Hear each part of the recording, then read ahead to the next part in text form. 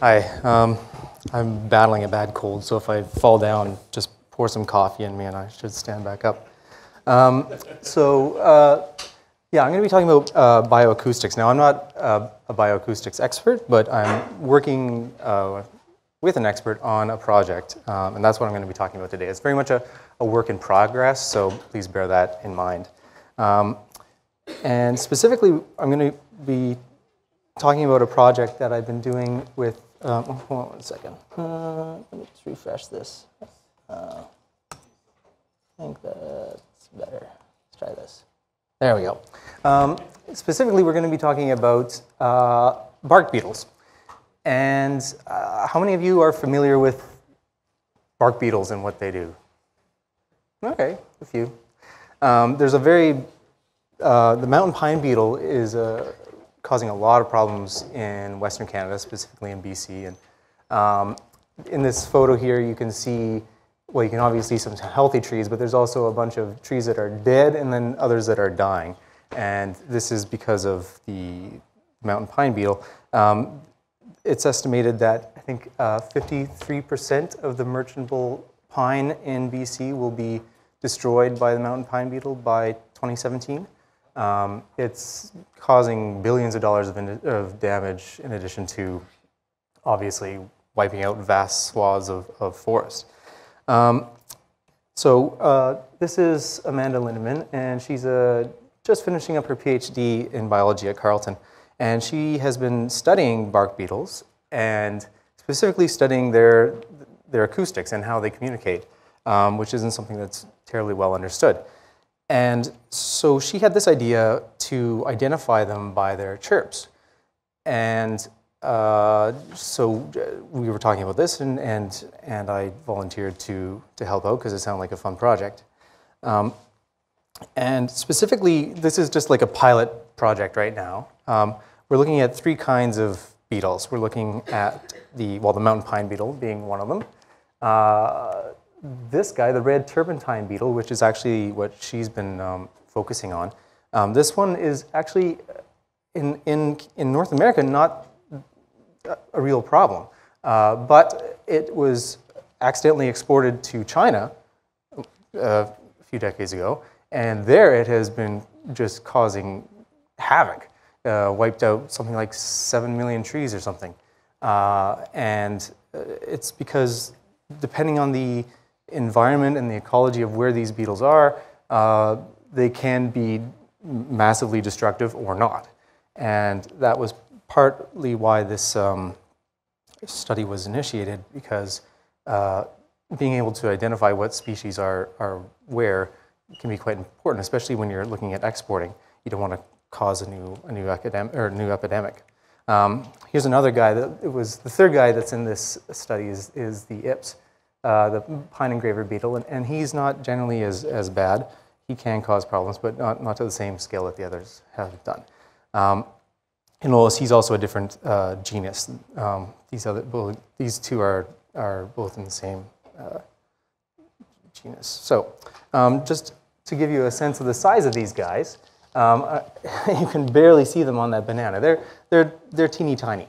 Um, and uh, so recording them is somewhat of a challenge. Uh, and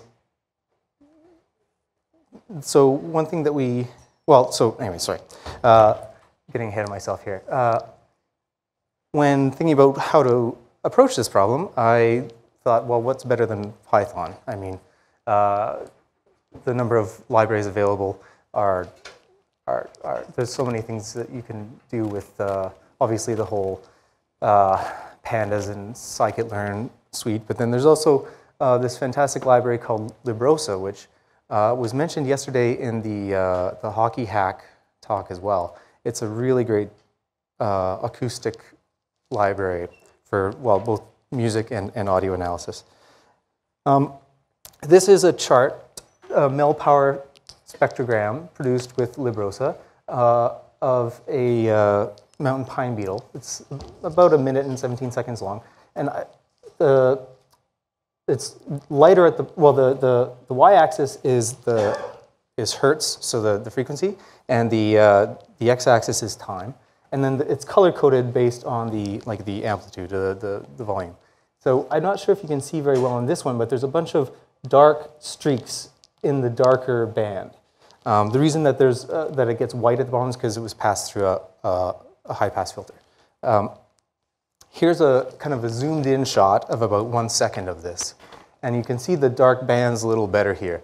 Those are the chirps uh, for this beetle. So you can see there's five of them here. You can also see that they're very broad spectrum. They're not, they're not, uh, uh, they, they, uh, they cover a broad range of frequencies, and that's because of the way the beetle produces the noise. It's not uh, like the way we produce sounds. It, it's done by, the, by rubbing um, uh, an appendage across a, a surface.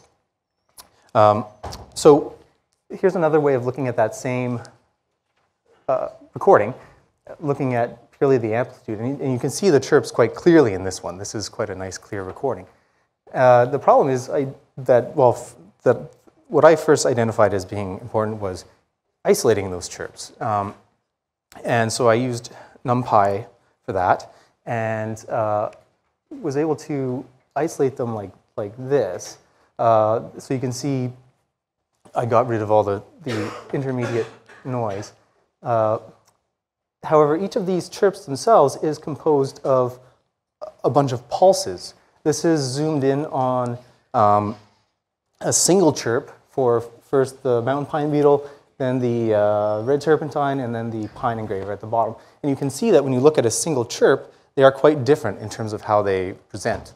And with one thing to note is the, the time scales here are not the same. The one at the bottom is, is uh, 45 milliseconds or something, whereas the ones at the top are much shorter, uh, in the realm of less than 20 milliseconds. So uh, what, what did we find? Um, uh, like I said, this was an, a very initial study, so, but you can see some separation here. This, this is just uh, like a look at, at some of the features that, that, that I was focusing on.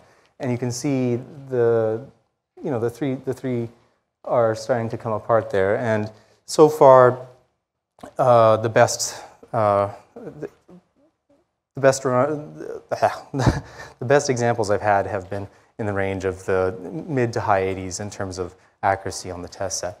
Um, so I'm working on improving that and improving uh, the feature extraction, which is really the toughest part of this whole um, endeavor. Uh, again, because they are so small, that the recordings are have a lot of noise normally, and uh, isolating the chirps is is uh, non-trivial in, in, a lot of cases. So uh, that is about all I had to tell you, and um, thank you very much.